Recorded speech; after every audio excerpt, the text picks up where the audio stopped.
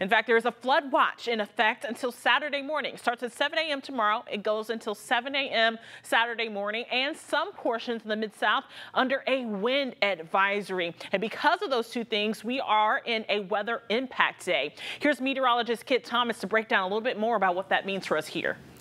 That's right, Danielle. With uh, with Helene now dropping five millibars just in the last hour, that is a significant drop. Of course, with it now being a Category 4 hurricane, whenever the pressure goes down, those winds go up. So it is intensifying. It's going to eventually make landfall, bringing a lot of heavy rain to the Carolinas, but also some of the rain that the Carolinas has been seeing is going to be thrown our direction and then eventually merge in with the moisture from Helene. So we see through this whole event, it eventually stagnates stagnates over the lower Ohio Valley, continuing to give us rain into our weekend. By the end of it, this is the next seven day rain totals, but it's all from the Helene upper low merger here. We could see anywhere from two to five inches of rain across the entire mid south, less so into northern and central Mississippi. But for that high wind threat, and the uh, excessive rainfall uh, threat that we have. That's why we have the weather impact day for tomorrow through Saturday morning. Gusty winds and flooding are going to be those main factors. You could see some power outages,